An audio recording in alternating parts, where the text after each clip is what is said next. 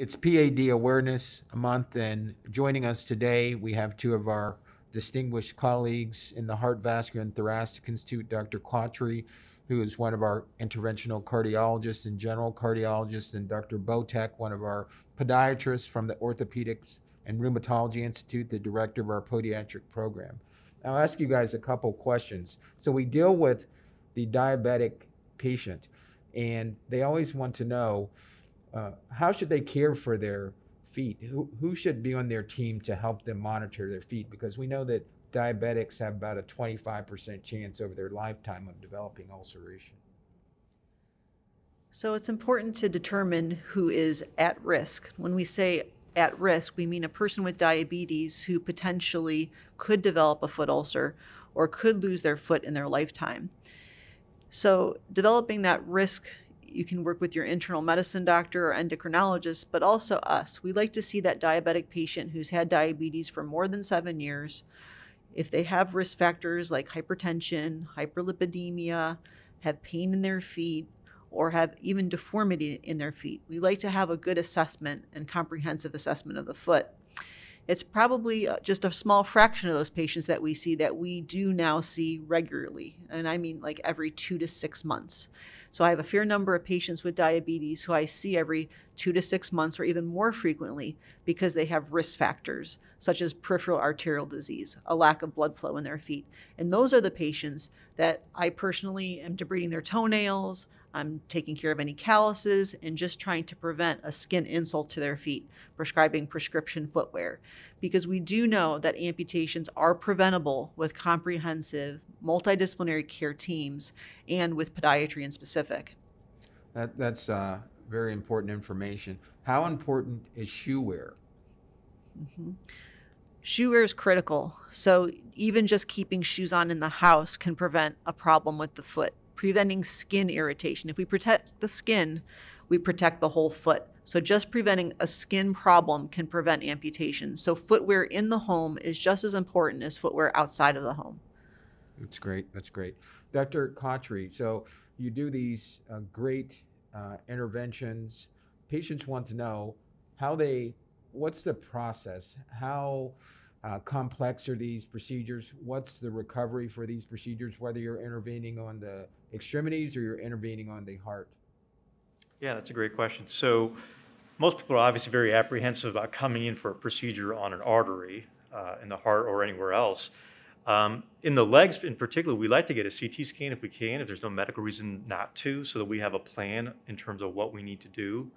A lot of these cases can be done through the wrist which is a really safe way to get access to the arterial circulation with very little risk of bleeding complications afterwards. A lot of inflow disease, uh, arteries that are like the iliac arteries, we can reach those from the wrist and fix those through the wrist. The heart we can fix through the wrist, and that adds a high level of safety to it. If we can't reach it that way, we can go through the legs.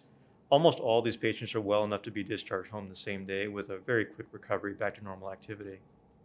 Yeah, that, that that's so important because uh, sometimes we're intervening upon patients to save their legs.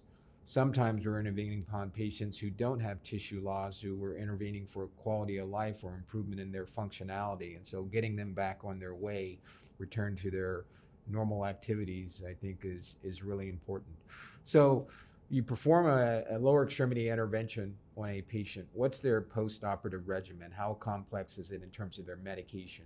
Yeah, I mean, I think that's critical. I think that there's the whole prevention side of things, modifying the risk factors with statins, which we discussed earlier.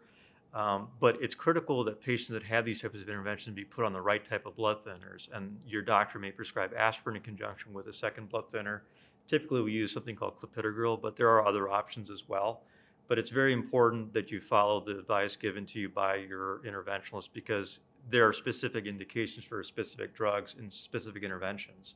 Yeah, so adherence, I think, is really important for patients and understanding what the prescribed regimen is and adhering to that regimen, and if there are problems, contacting one's primary physician. So, Dr. Botek, you know, I, I think uh, podiatrists, just like vascular surgeons in some instances, it's poorly understood exactly what we do. And some people consider a podiatrist caring for their nails, or toenails. But I want to emphasize to patients that you're a surgical expert and, in managing foot issues. And so maybe you can tell patients about some of the uh, procedures that are performed to reconstruct their foot so that they're able to ambulate.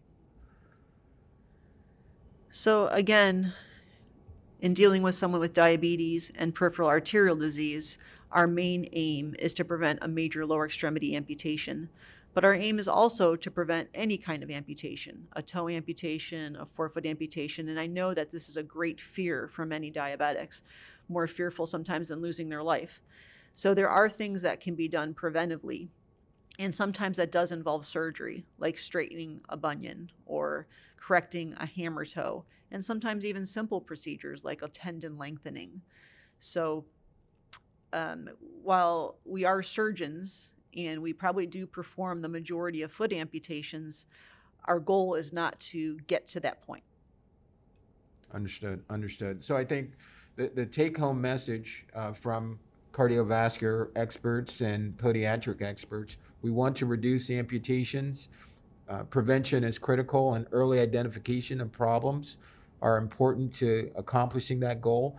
But equally im- im- important is reducing the risk of heart attack and stroke. And we know that patients that suffer from diabetes and peripheral arterial disease are at increased risk of both of those, each of those. And those are usually the, the cause of death in those patients. And so prevention is paramount. We need a team to do this, and an interdisciplinary approach is how we care for these patients here at the Cleveland Clinic.